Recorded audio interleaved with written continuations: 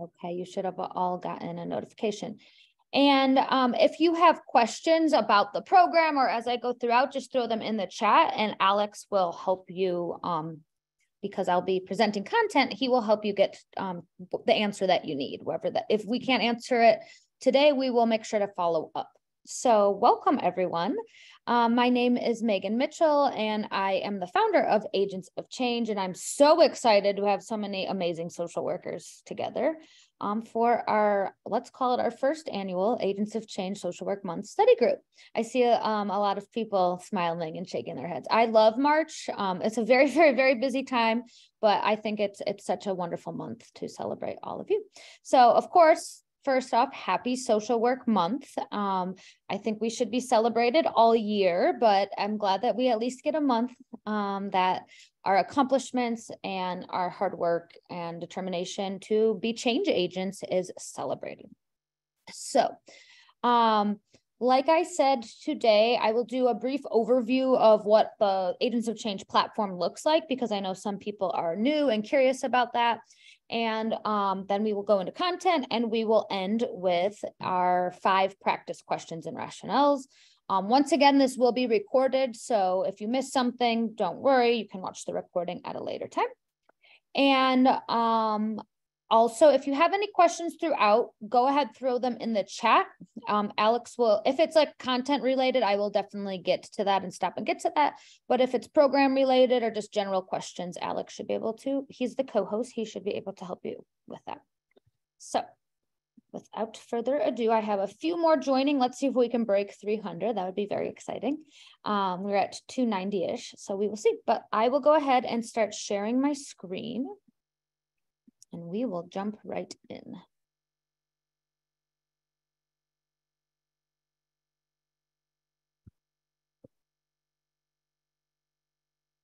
Okay, can everyone see this? Thumbs up if you can see this. Okay, great. Um, okay, so Agents of Change, um, for those of you that are new, it is an audio visual program. So what does that mean? It means that we really do make a big point um, of trying to tap into all learning styles. And I could tell you a bunch of science behind learning and adult learning, but everyone learns differently is basically what we know and what is backed up by science. So we do our best to utilize all learning styles.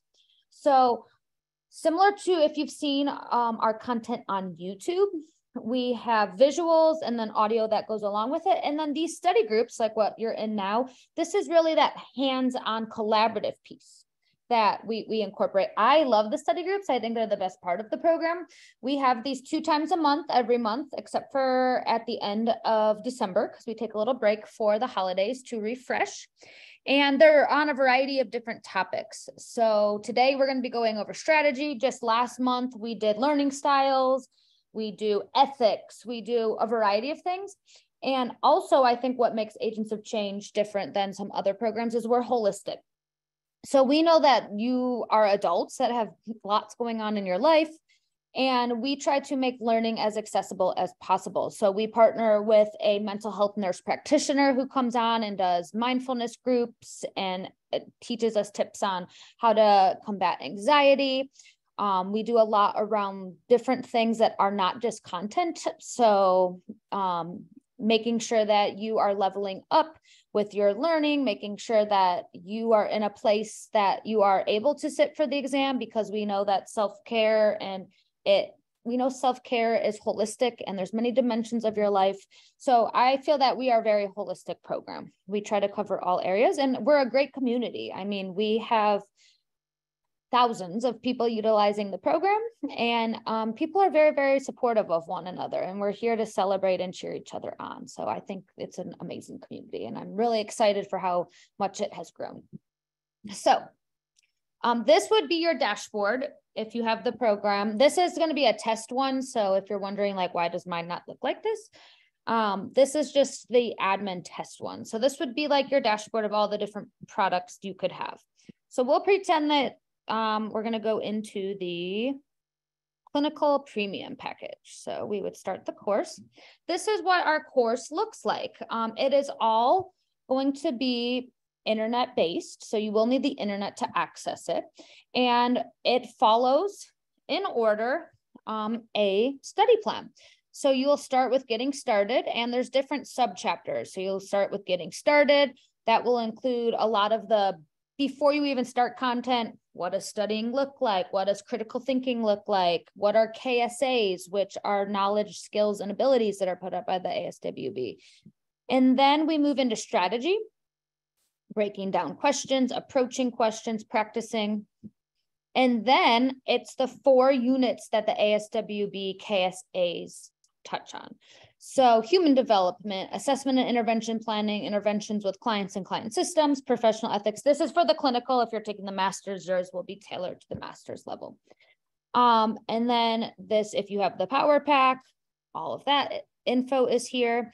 And then you have your practice questions. So say you were taking the exam, you would click into the exam. They are now timed. So you would start the exam there. And the timer here is just for you to kind of get a sense of how your timing is going. Are you on track? Um, it's really to, to utilize where you are as an assessment tool. So that, that can be found in there too. I'll go back here. And then if you're ever wondering like, well, this seems like a lot, there's a lot of content. Yes, there's probably about 30 plus lessons. And we do say it takes anywhere between five weeks and eight weeks to get through the program. And we suggest going through the program at least twice. Um, why that is, is because you might miss something the first time through. And the second time through, you want to make sure that you are catching anything that you missed the first time. And there's just a lot of content, right? Um, so some people say like, what do I do with this dashboard? If you're ever looking, do you have something on community? You could go to the search bar here, type in community, and any of the lessons we have, so you can see we have community social work, community social work practice questions, community organizing and community development. If you were looking for DSM, we have DSM-5, DSI, DSM-5 practice questions, DSM-5 case vignettes. And then we always have everything as an audio only file in case you wanted to listen to that on the go. So some people, everyone has different preferences. Some people prefer that. So um, and then the last thing I want to show you is these study groups that we have that I think is a really Mitchell with Agents of Change. Let me, that is not our study group. So if I type in study, notice here it says live study groups. So you would go here, you'd click in, you'll find the study groups for the month. But what's really great is if you are um, a client, you'll get access to past study groups for the past year. So you will see There'll be access. This is just our 2023 study groups, but you will see all of our past 2022 study groups. There's a YouTube link, the resources, which are usually questions that we cover, and then the audio files. So um, that's a, this alone would be hours and hours and hours of content. It's really great. A lot of people find the study groups very, very, very helpful.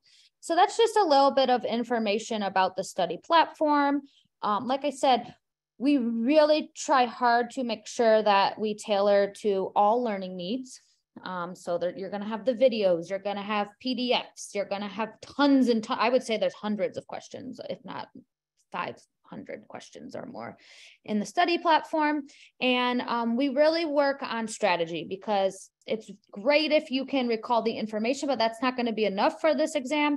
You really have to be able to apply it and utilize it in different situations. So that's kind of the quick overview. If you have any questions, Alex will be able to answer them in the chat.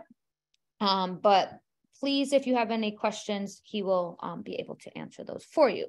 And if you're like, after today, you still have questions, feel free to email us at any time. We will make sure to get back to you and answer your question. So we're not gonna, we're gonna change gears now to the good stuff here. What we're here for is to learn the five, to talk about the five W's and to celebrate together for social work month. So like I said, we're going to be utilizing the chat today. And um, any question, I might have you stop throughout and ask you different questions. This is, the chat's really going to be used as a reflection tool. So it's really to get your thoughts out there to be able to see in real time the learning process and for you to interact with our community. So, okay. Here's our test strategies and five W's that we're going to be covering today.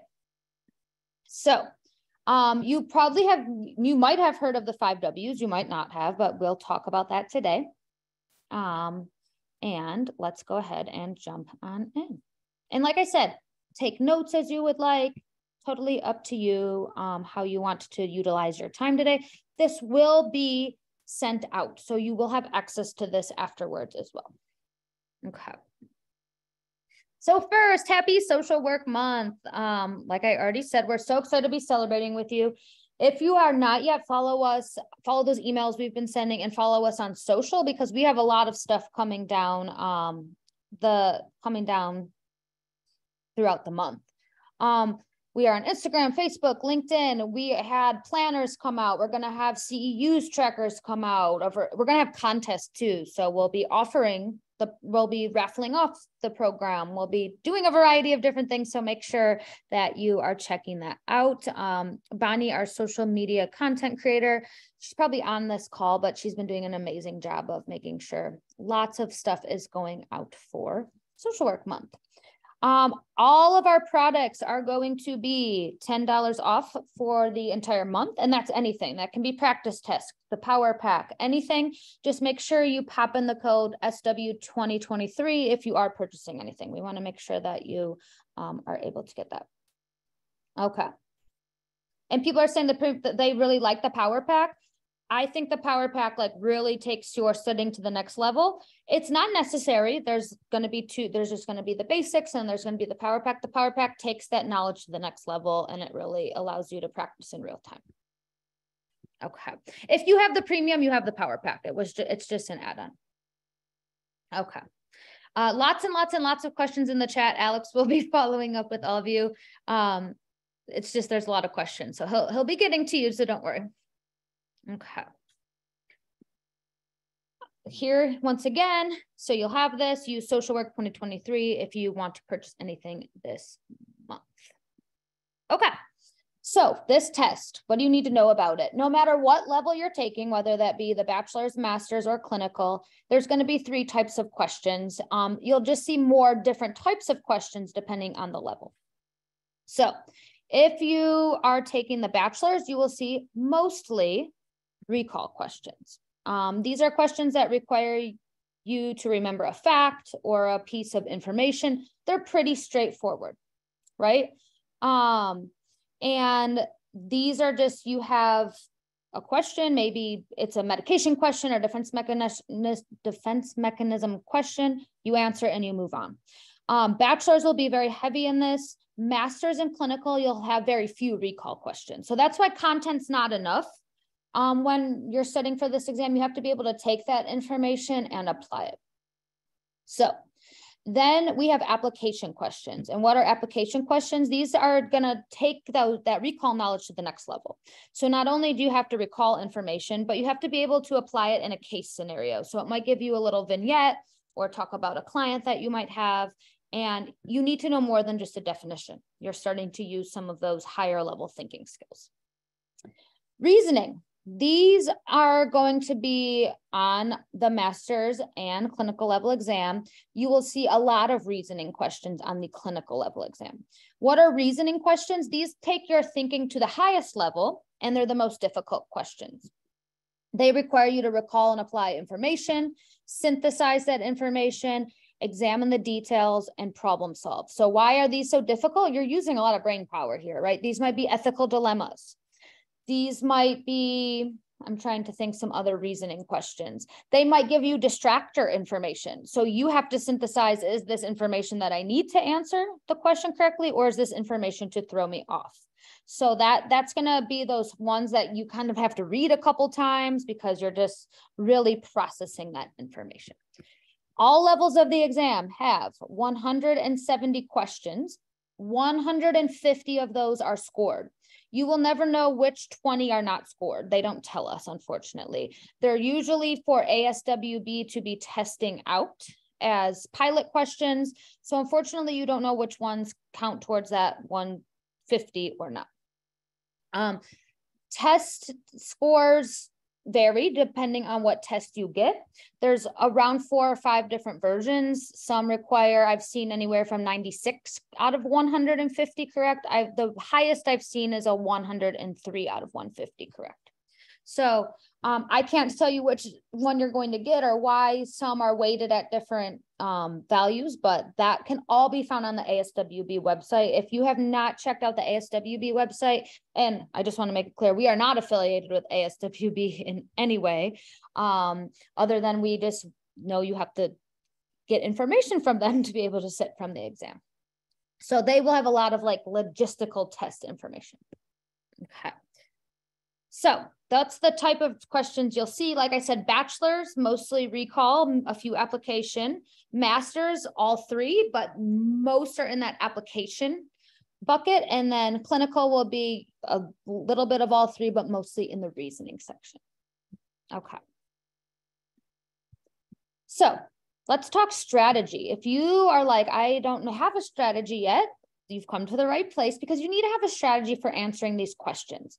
A lot of people do flashcards or they read a book and they feel like content wise they're very strong, but then they get to the exam and there's a lot of case vignettes or complicated wording or things that re require you to really tap into your thinking and apply the information. So you want to make sure that you have a strategy because you have to be efficient. You unless you get extra time, you only get 4 hours and um, I do encourage you if you maybe, if English is not your first language, if you have a learning disability, if you have a medical, um, a medical diagnosis and you need extra time, you can definitely get accommodations. And I definitely encourage you to apply. The worst thing the board can tell you is no, right? But sometimes as social workers, we are not our own best advocates. So if you think you need extra time, apply for it. And all that would, we have tons of information on our blog that I can have Alex share our blog link because we have actually a, and I believe we have a YouTube video on how to apply for accommodations as well. So you want to make sure that you are analyzing information. So um, how do you do that? You want to read each question twice before looking at the answers. So you're going to have three or four answer choices. If you're testing in 2023, you will have some combination of three and some combination of four. That's a new change that the ASWB has made. You want to read them all twice. Why is that? The first time through, you might miss information. The second time through, you're going to get more information. Read all answers before starting to think about choosing an answer. Um, some people like to jump ahead. They like to get excited and, you know, they might say, oh, I know the answer is B. You want one word could change an entire answer here. So you want to make sure that you are reading all of your answer choices and thinking about them before jumping to an answer. Um, 2023 is when the three answer choices rolled out. So you, if you are taking it now forward, you will see three and four answer choices. Okay. Eliminate answers that are too extreme or do not answer the question stem. So what does this mean? For example, if it said, I'll give you an example of what too extreme would be. If you got a question that said, you had a child come into school building with um, a bruise. An answer that is too extreme would be to call the police, right? If a child comes in with a bruise, many children come in, we don't have any additional information at this point that would say that the child is in imminent danger. So too extreme, you want to rule those out and process of elimination. The more you can rule out, the easier it's going to be for you to answer. Okay. And then do not, this is really hard if you've been in the field for a while. You don't want to add any information into the question stem. The words are the words that they give you. An example of this, say you get a question that says you are working with an elderly client um, in a assisted living setting. We do not want to assume because they are elderly that they cannot care for themselves or that they are not able to make decisions on their own unless the question told us that, right? So we do not want to put any information or assume anything that's not in the question stem. And you will see as we break these down what that means in just a little bit. Okay. Next slide. The helping process. Um, a lot of people find this to be some of the most helpful. This is pretty much the only acronym I teach. It's not even really an acronym, it's a process, and I have a study tip for it. But the social work helping process is major because it is going to give us a starting point and an ending point for working with clients. So, um, what is the social work helping process?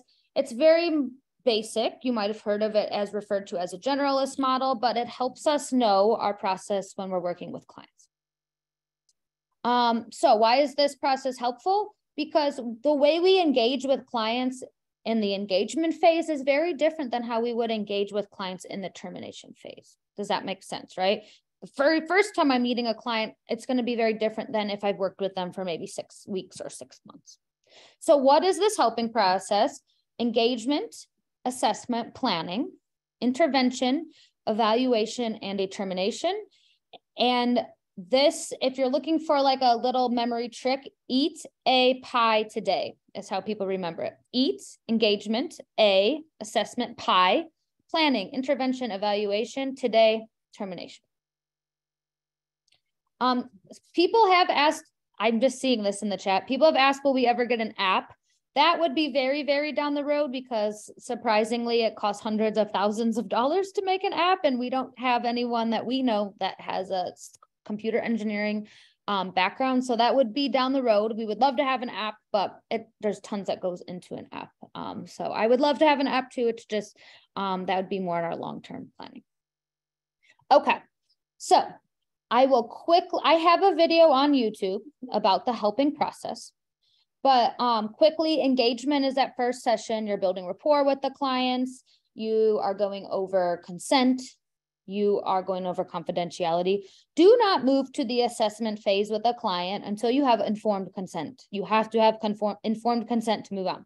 And you're building rapport in the engagement phase. And the purpose of engagement is we want our clients to come back.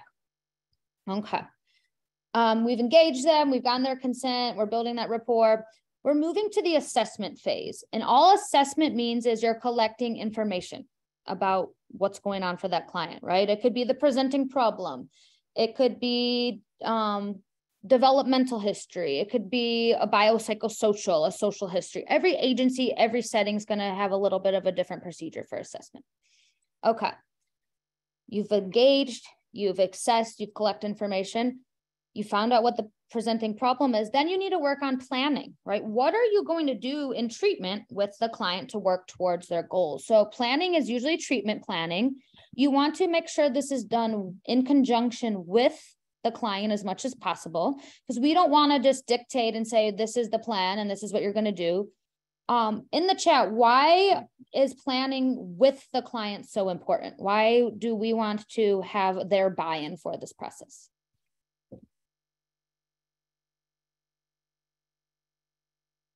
Self determination, absolutely.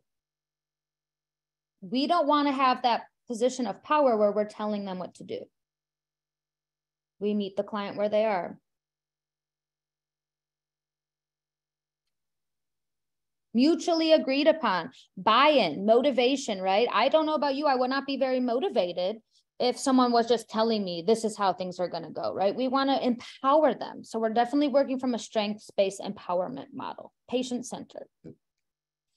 Um, okay, so we've engaged our client, we've assessed, we know the problem, we've treatment planned.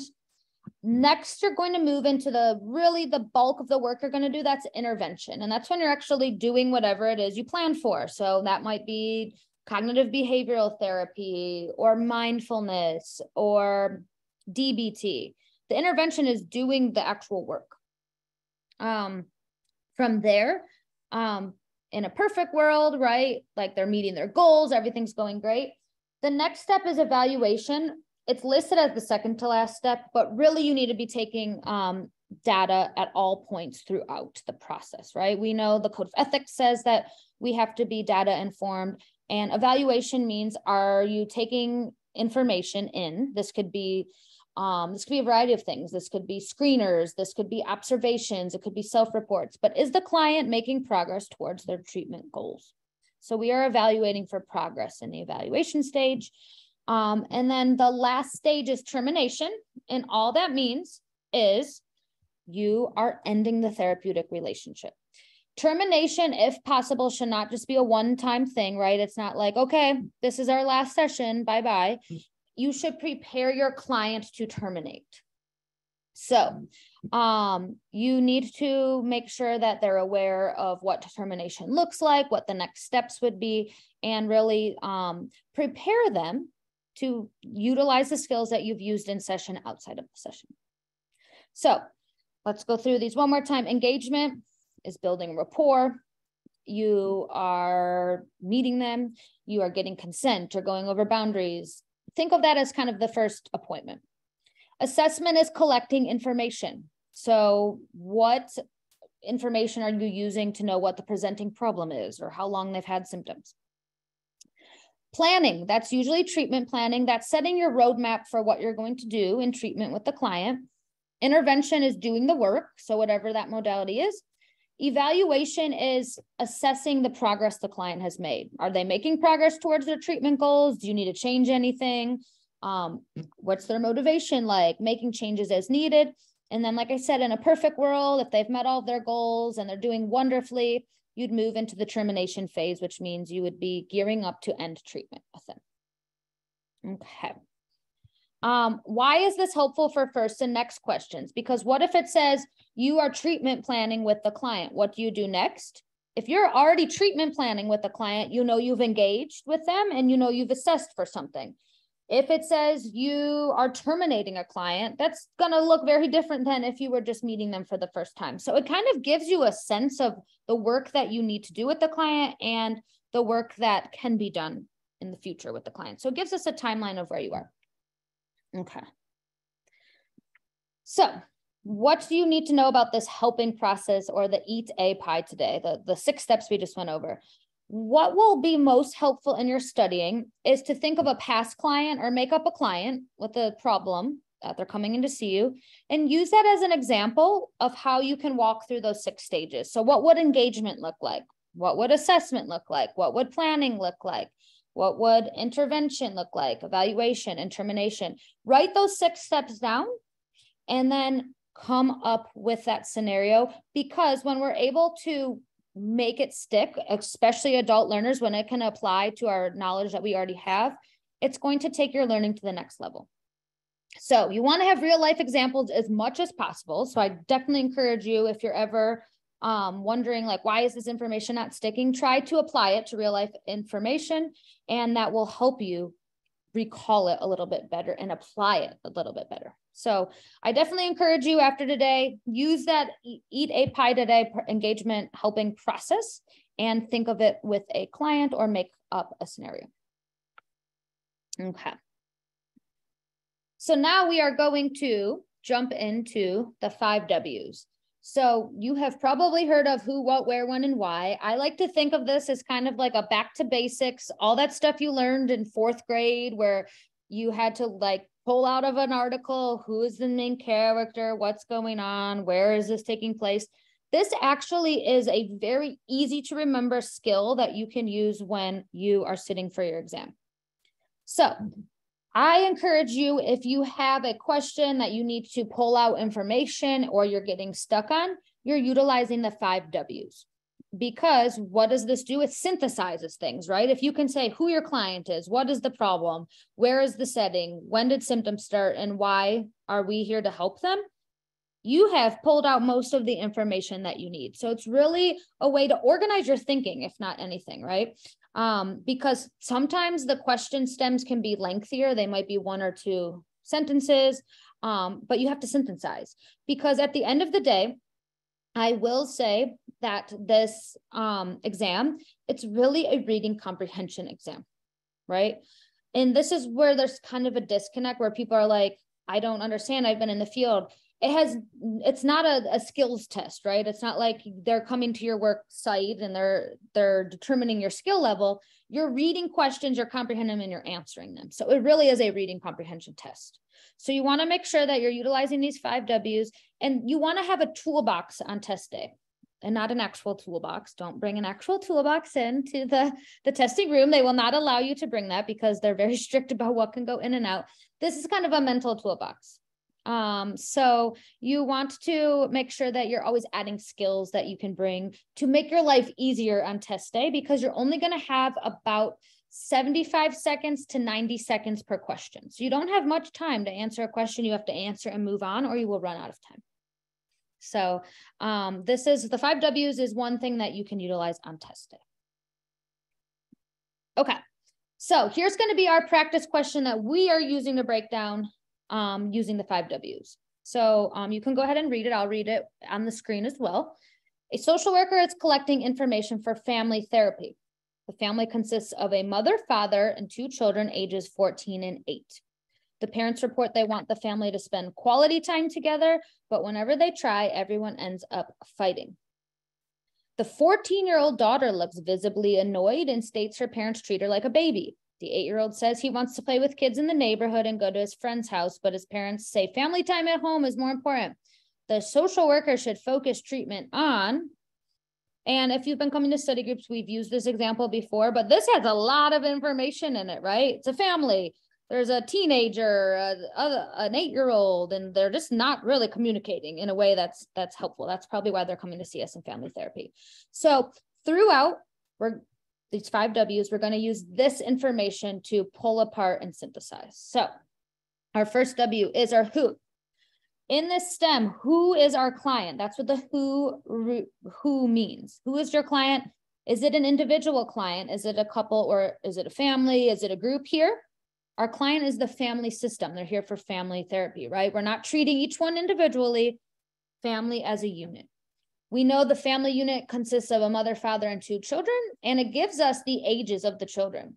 Age matters because we know there's developmental milestones that everyone meets at certain times.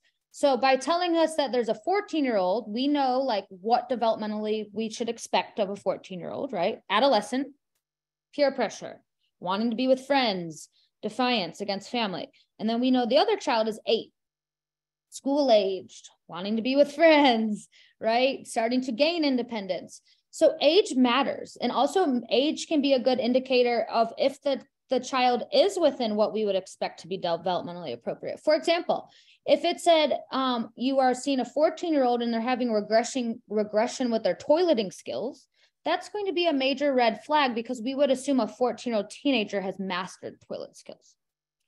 So we don't know. Sometimes we're not going to have all the information, right? We don't know how old the mother and father is. So we don't have that information. But who is our client? This family, family unit, mom, dad, and the children. You know the children's ages. So that's our who for this one. The what. Here's the three questions you want to consider when you're figuring out what the what of a question is. What is the presenting problem? What is the question asking? What does the social worker need to do? So here, what is the problem? Parents are coming and bringing the whole family to therapy, which means they need some sort of help, right? They wouldn't be coming to us if they didn't need some sort of help.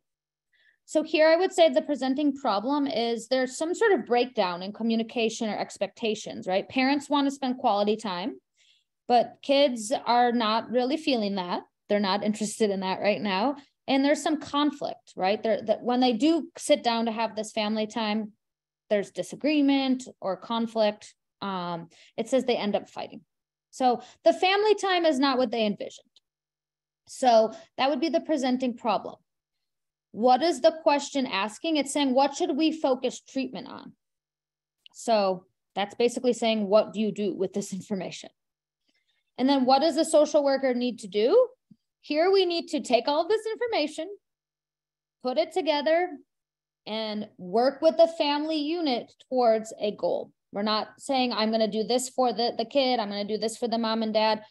Family as a unit, how do we get them towards goals together? So that's something did that's very different than um, individual therapy or, or, or, a variety of things. Family therapy, I don't know if any of you do family therapy, but I think it is the most amazing skill if you can be a very skilled family therapist, just because it's very tough work. You're bringing together lots of personalities and um, doing a lot of communication work. So we have our who, we have our what, where. And you might think where, what that that seems like an odd piece of evidence. But where is really like what setting are you in as the social worker? So are you a hospital social worker? Are you a school social worker? Are you a hospice social worker? Are you in person? Are you I mean, we we know social worker social work is so diverse, so we could be at so many different places. And that's why this test can be really challenging. In school um, and in our careers, we usually specialize, right? We're probably like maybe school social workers or hospital or clinical or macro. But this exam is generalist. So you kind of have to have some knowledge on all of the different settings. So where are you? And um, setting does matter because what you would do in a hospital and ER is very different than what you do in private practice, right? So think of that. And then where is the client? Is the client physically with you? Is the client on the phone? Is the client at school? Is the client in the hospital? That matters too. Here, notice there's no where. We don't know the setting and we don't know where the client is. So sometimes you're not going to have all of the pieces of the five W's, right? It doesn't mean that this is that that's a bad question or a good question. It just means we don't have that piece of information. Sometimes it might matter, sometimes it might not matter. So we don't have the where here. We don't know what setting we're in. We just know that we're providing family therapy of some sort. We don't know where. Okay. There is not um, a default setting because, right, it, it, it, we can just assume they're coming in, they're coming to services. That could be virtually, that could be in person. They're engaging in services. So that's the, the that information there. We don't have a default. Um, okay. So the when is really time sensitive. So when you get the when, time. When did you meet the client? So think of that helping process. When did symptoms occur? And when did the presenting problem start? So here, where do you think in that helping process we would be if we are just collecting information from the family? Go ahead in the chat. What would be the when for this? Definitely the beginning phases. We're either engaging or we're assessing. First, we're definitely not intervening yet. We don't have enough information. We're in those beginning stages, either engagement or assessment, somewhere in there. Um, when did symptoms occur? It doesn't really say, right? We don't know if this has been a problem for five years or five weeks. So we don't have that information. And we don't know when the presenting problem started, but it obviously started before they came to us, which is why they came to us. So it's been happening for some amount of time. Sometimes it will be specific. It might say they've had symptoms for six months or they've had symptoms for three weeks. When you get to the clinical level and you have to diagnose based on DSM, we know that time frame matters, right? Because certain diagnosis you need to have for certain lengths of time.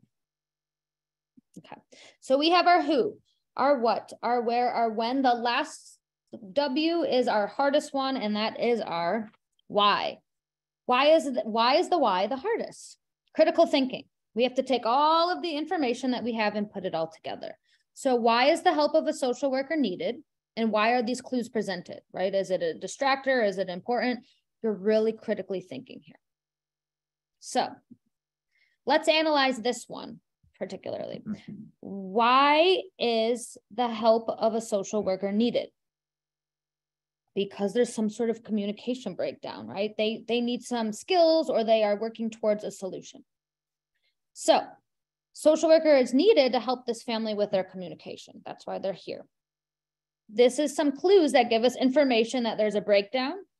14 year old stating her parents treat her like a baby, and the eight year old wanting to play with friends we that would show us that there's some sort of disconnect between the parents' expectations and what is developmentally appropriate for the children, right?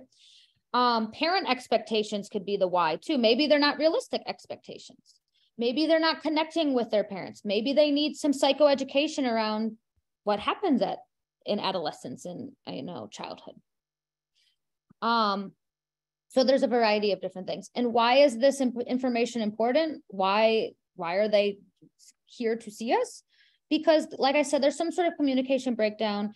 Expectations are they're not on the same page. That's mostly why people come to family therapy, right?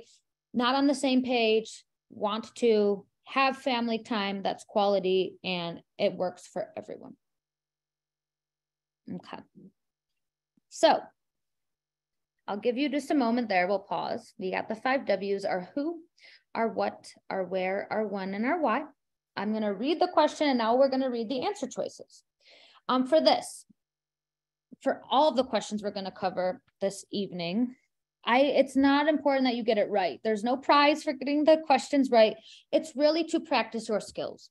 So we're going to break questions down together. We are going to work through them. I'm going to highlight I'm going to show you how I would break them down and how um at how we work on strategy.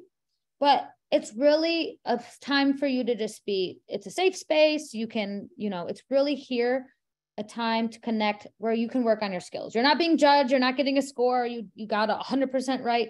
It's really the process here. Process, process, process. So let's do this practice question. Social worker is collecting information for family therapy. The family consists of a mother, father, and two children, ages 14 and 8. The parents report they want the family to spend quality time together, but whenever they try, everyone ends up fighting. The 14 year old daughter looks visibly annoyed and states her parents treat her like a baby. The eight year old says he wants to play with kids in the neighborhood and go to his friend's house, but the parents say family time at home is more important. The social worker should focus treatment on A, helping the family establish appropriate roles and boundaries, B, developmental levels and communication stages for each child, C, facilitating activity based family interactions to build on the strengths the family presents with, or let me move my bar so I can see D, connecting the family in meaningful ways through role play. What should be the focus of treatment and why? So go ahead in the chat. What do you think should be the focus of family therapy? And go ahead and put why you think the answer is what it is.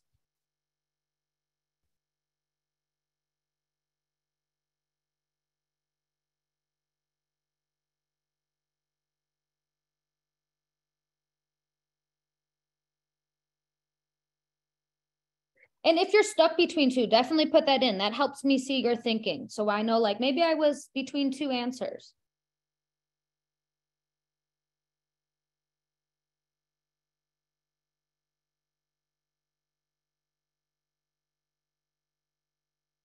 I'll give you maybe 30 more seconds for that one.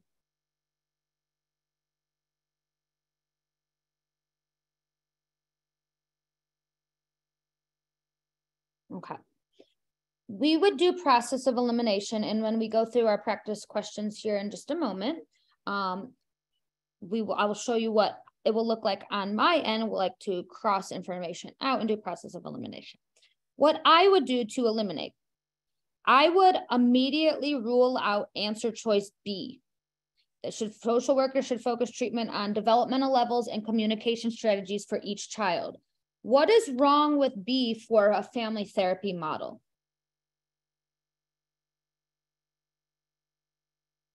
it's we don't want to just focus on any members of the family, right? Where B only focuses on the children. That does not incorporate everyone, right? So B would be out. We would eliminate that. We want to focus on the family as a unit. It's going to be important that we talk about developmental stages, but that's not going to be our focus. Okay. So B is out.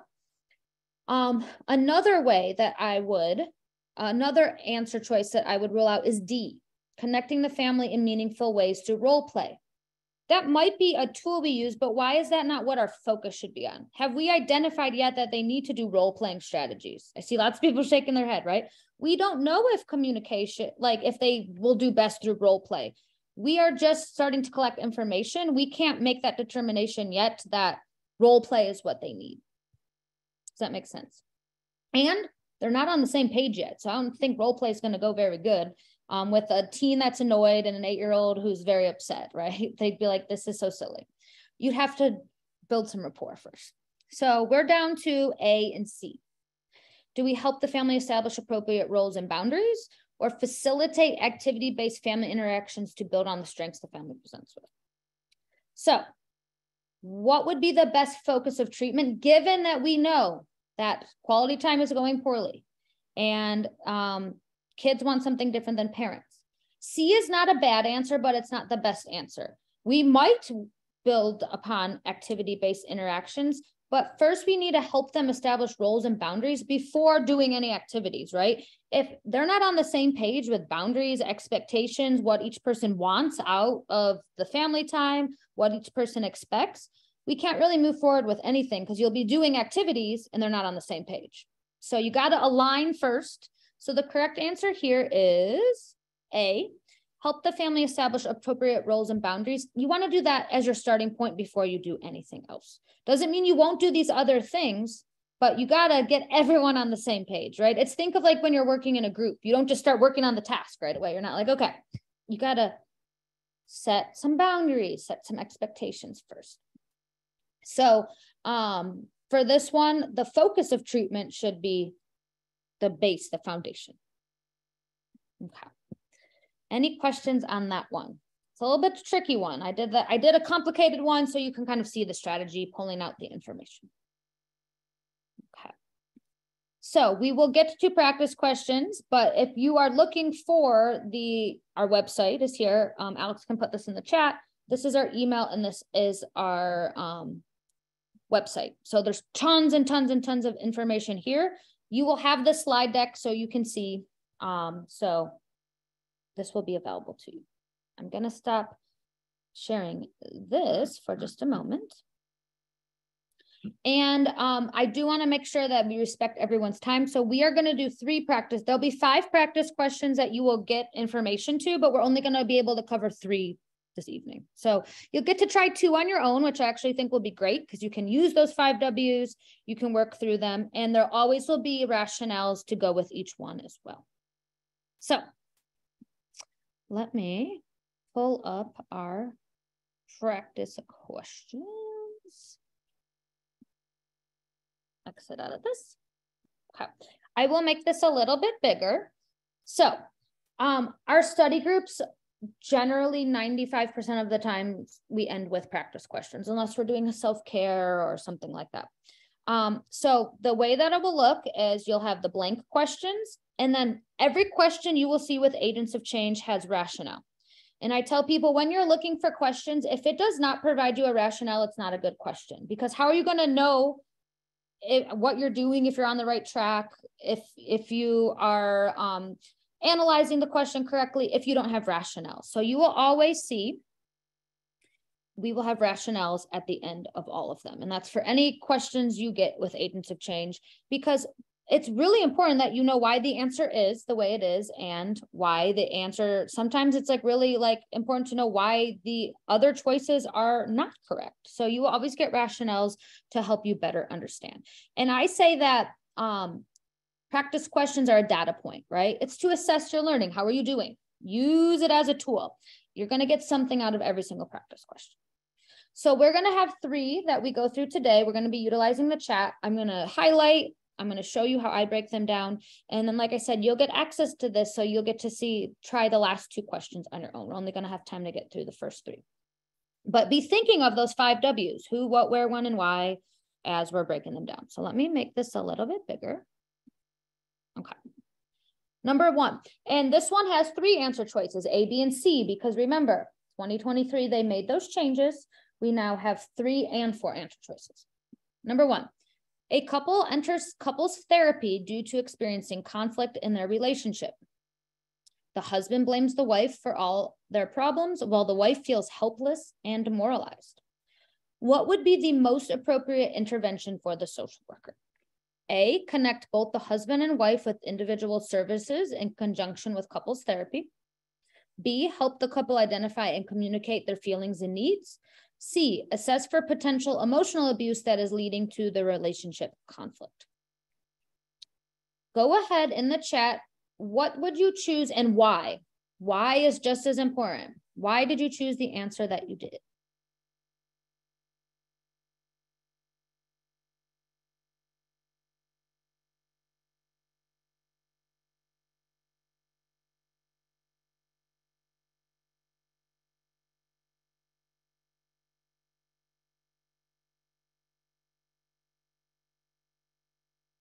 Think of what your role would be as a couples therapist, right? That's very different than if you were an individual therapist. So once again, who is your client?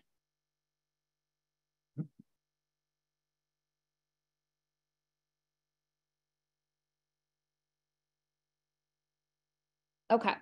So here is what I would pull out from this question. Who is our client? A couple. So we know that couples therapy is a little bit different than individual, right? They're they're there. I don't know why this is. I don't want that to change. I want this. Okay. So our who is the couple? What's the presenting problem? They're having conflict. Husband is saying the wife's the problem and she's feeling helpless and demoralized. Where does not say, right? We don't know what our setting is, but we do know we're working with a couple. Um, who, what, where, when does not say. We don't know how long these issues have been happening for. Why do they need us? Well, they're coming because they obviously want to work on this, right? There, there's this couple and they're not on the same page. So what would be the most appropriate intervention? So here we're talking about how do you intervene? What do you do with this information? So process of elimination. If they are there to see you for couples therapy, would you say you should go see your own individual counselors? That might be something they need, but that's not why they're here to see us, right? Like that is not what we're going to focus treatment on especially not as a couples therapist. So now we're down to B and C. Hmm. Do we have to assess for potential emotional abuse right now? Do we have that would be an assumption? Do we have any information that says either one of them is feeling as if emotional abuse is occurring, right? There's definitely some sort of breakdown of communication, but we don't want to assume because the husband's blaming her that there's emotional abuse going on. We don't have the full picture yet whatsoever. So C is out. We don't want to assess yet not enough information. That would be jumping to conclusion. Process of elimination. We need to help the couple identify and communicate their feelings and needs. Why is B the best starting point for couples that are not communicating well? Seems very good starting point, right? What's your feelings and what do you need? They think of Maslow's hierarchy, right? What are your needs? yeah, starting point. We gotta hear like that's our starting point. C is too extreme, and we're not gonna um, focus treatment on having them go to their individual services if we are here to serve the couple. Okay, we're starting where the clients are, and this is where they are. And we as the clinician need to know what their feelings and needs are, right? Because we're gonna be collecting that information. Any questions about number one? Okay. Number two, a social worker is working with a client who has a history of substance abuse and is currently in recovery. The client tells the social worker that they have been feeling strong cravings for drugs lately. What would be the most appropriate intervention for the social worker? A, help the client resist cravings. B, help the client identify triggers and develop a plan to manage them. C, encourage the client to attend a support group meeting. Or D, schedule an appointment for the client with a substance abuse counselor. What would you do with a client in recovery, they're having some cravings, and why?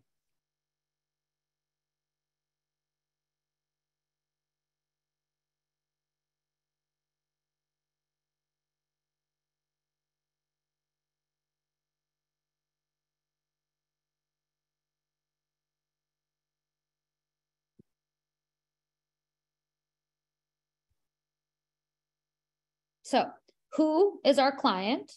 Um, someone that is experiencing substance use has a history. They're not even currently experiencing that history of substance abuse that's in recovery. What's the presenting problem? They tell you they're starting to have some cravings, right? That could be very normal part of recovery. I see people shaking their head. Yes. So that would be something we need to know. Who or what? When? we don't know, right? It just says that they've been feeling lately. So that actually is our, like, this is a newer behavior if it says lately. So I'm going to put that in yellow. Who, what, where, we don't know. When, why do they need us? Why, why are they telling us this information?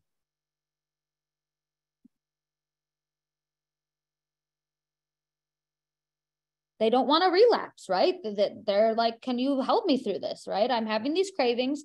What can we do to meet the client where they're at and support them through this, right? So let's start eliminating. Um, do we need to schedule an appointment with a substance abuse counselor? Too extreme right now, right? The client is not even using right now, right? So we're not going to say go to a substance use. And is that meeting the client where they're at in their relation therapeutic relationship with us? No, right? If they started to uh, use and a need, you know, a substance abuse program, we would definitely do that. We're not there yet. We do not have that information. Can we help this client resist cravings? Can we do that for the client? No. That would be wonderful in a world if we could just control people and help them, you know, get into their mind and do things, but that is absolutely not how things work. So that's just not possible. So A is out.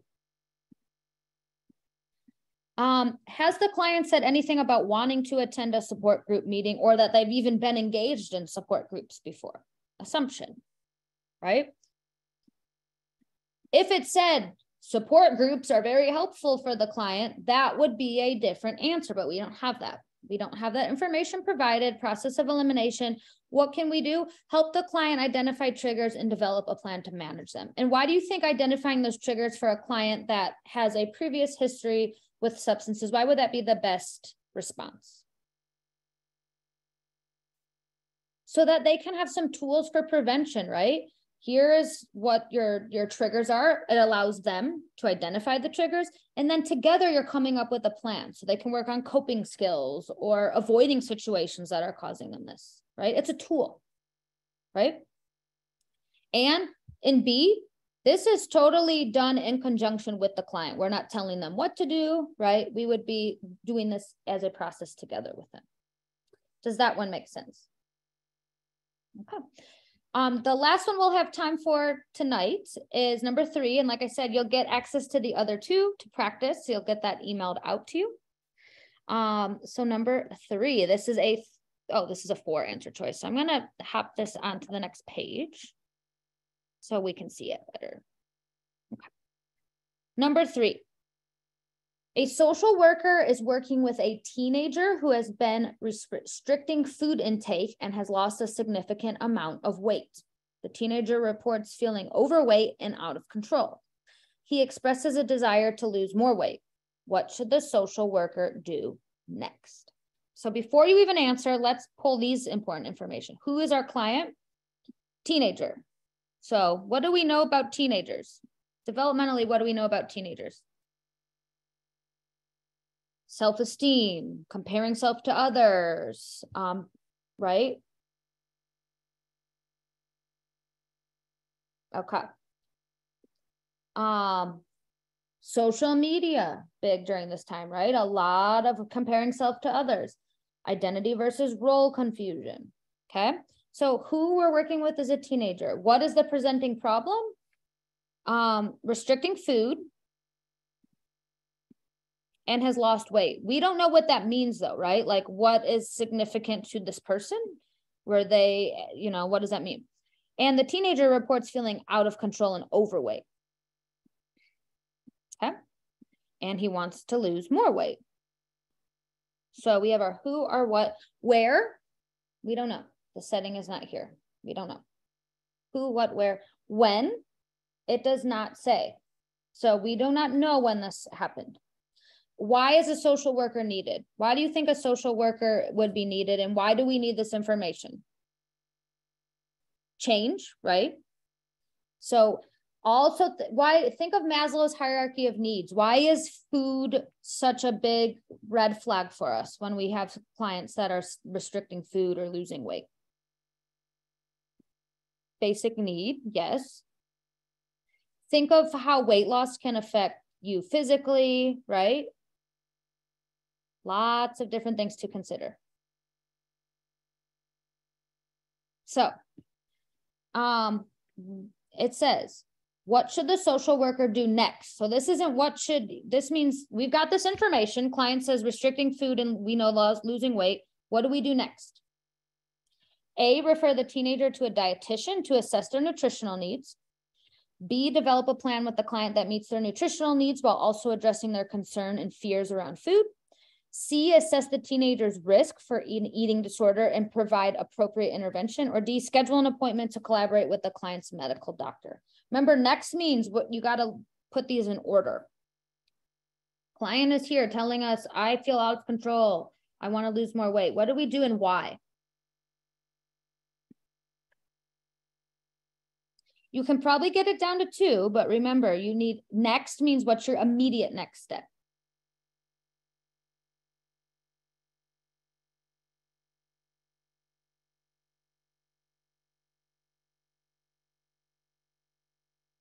I will give you a clue here. We would probably do all of these things at some point, but we're looking for the next step. None of these are going to like cause harm to the client. What can we start to rule out? Okay. Um, what would I not do next? Right. Um, I'm not going to refer them out yet to a dietitian to address their nutritional needs, but they do need to see probably a dietitian if this is and once we have more information, right? We don't have enough information yet to know specifically what's going on. So we're not going to refer them out just yet. B is also out. We can't develop a, a plan that meets their nutritional needs. First of all, we probably would not be giving nutritional advice, right? Um, we would want to do that in conjunction with a nutritionist. And then um, we're not addressing these fear. We don't know if there is a fear around food. We don't have that information yet. We don't know why they're restricting food. So B is out. So what do we do next? Assess for an eating disorder and provide uh, appropriate intervention or schedule an appointment to collaborate with the client's medical doctor. You would do both of these things, but what are you going to do next?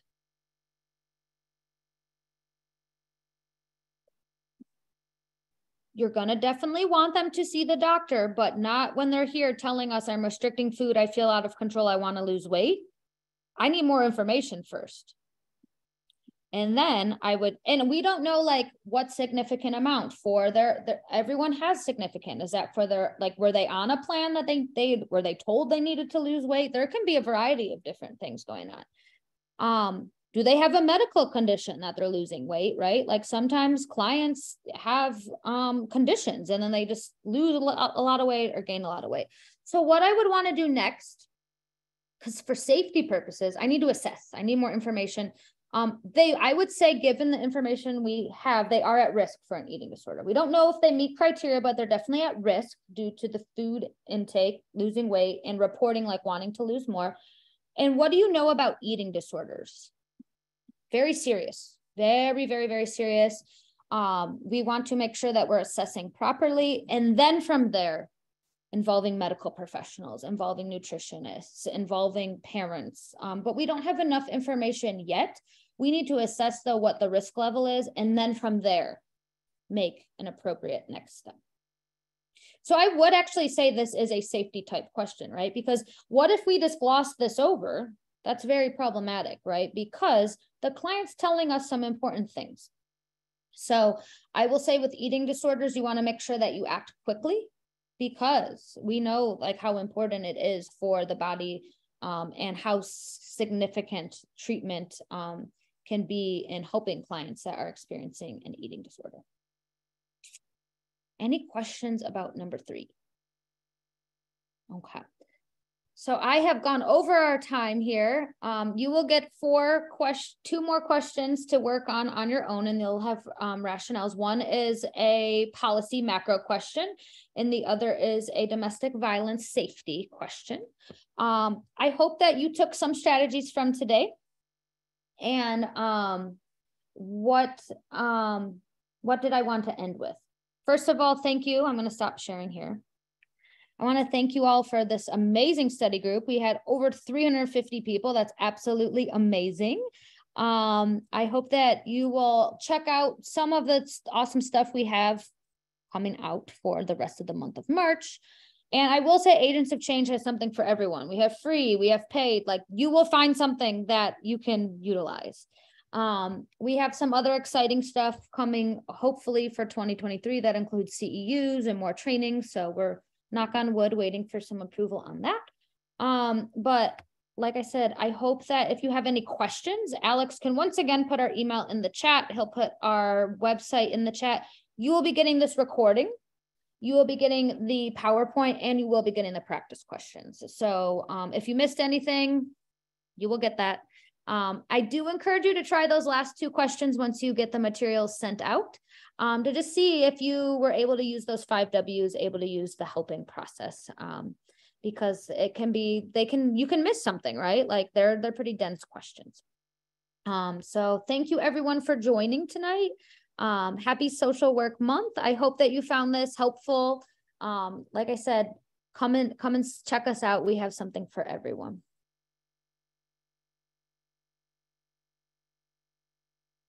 Thank you, everyone. Happy Social Work Month. Oh, yes. If you're testing soon, good luck. good luck, good luck, good luck. And we still got 25 plus more days of this month. So many, many more opportunities to celebrate you.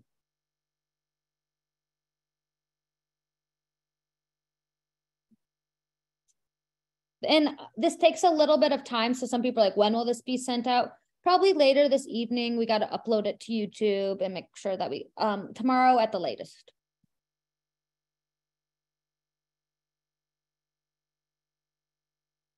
Thank you, everyone. Thank you for joining. Bye-bye.